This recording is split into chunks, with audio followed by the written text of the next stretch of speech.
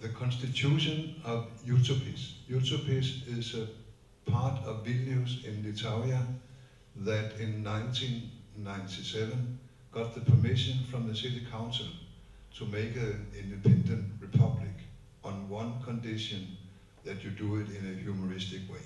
So this is part of the constitution. Everyone has the right to live by the river Vilnius.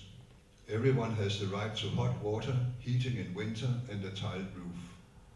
Everyone has the right to die, but it's not a duty. Everyone has the right to make mistakes. Everyone has the right not to be distinguished and famous. Everyone has the right to love and take care of a cat.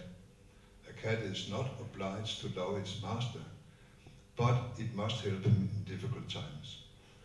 Everyone has the right to sometimes be unaware of his duties. No one has the right to violence.